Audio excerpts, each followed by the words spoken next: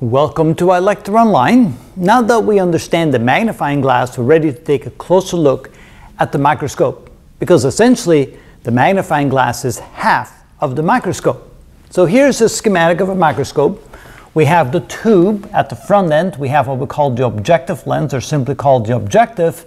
And at the back of the tube we have the eyepiece also called the ocular and it's through the eyepiece or the ocular that we look. Notice that both the the uh, objective or the objective lens has a focal length and a focal point in front and the back of the lens. And same over here, the eyepiece or the ocular has a focal point on front and back of the lens and a focal length. Notice that the focal length of the magnifying glass and the focal length of the objective lens tend to be small and they do not overlap like they do in a telescope.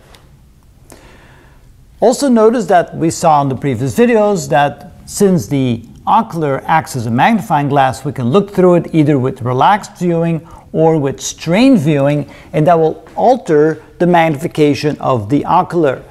In relaxed viewing, it'll be 25 centimeters divided by the focal length of the eyepiece, and for strained viewing, it'll be 25 centimeters divided by the focal length plus one. It's always one more with strained viewing. That brings the image in closer instead of allowing it to float off to infinity, so to speak. And then we can see that the total magnification of a microscope is going to be the product of the magnification caused by the objective and the magnification caused by the eyepiece. Now we don't know yet at this point what the magnification is of the objective. We'll see that in the next videos to come. But the way a microscope works is that we will place an object close to the focal point of the objective, typically a little bit before the focal point or very close to it. So here let's put an object right there, which causes an image to form just inside the focal point of the eyepiece. So there's the first image caused by the placing the object right in front. Now, I made the object a little bit too big. Let me make an object a lot smaller. There's the object because we're looking at a very small object, and that will create a fairly large image just inside the focal point of the ocular of the eyepiece. Now, of course, we will be adjusting the microscope because it will not come into focus until the image is placed right there. And depending upon where the object is placed, we will have to move the eyepiece back and forth by focusing so that we get the image to be just in sight for a clear image. And then the magnifying glass does its job by magnifying the, uh, the image of the first lens now becomes the uh, object of the second lens essentially. And so now what we do is we're going to have an image formed like so so this is image 2, and notice that image 2 will be magnified again relative to image 1.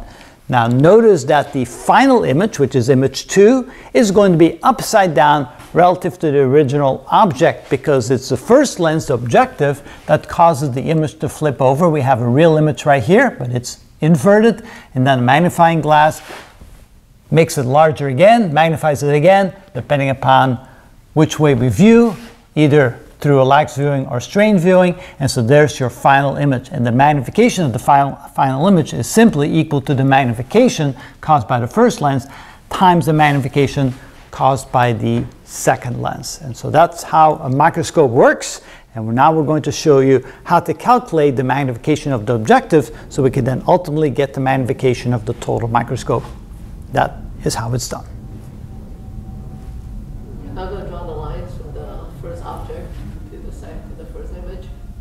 Yeah, we can draw the lines. Uh, the way that works typically is you have a line going from there to the lens and then through the focal point on the other side. And then we can draw one right here from there to the middle of the lens keeps going. And then when they eventually intersect that's where they form.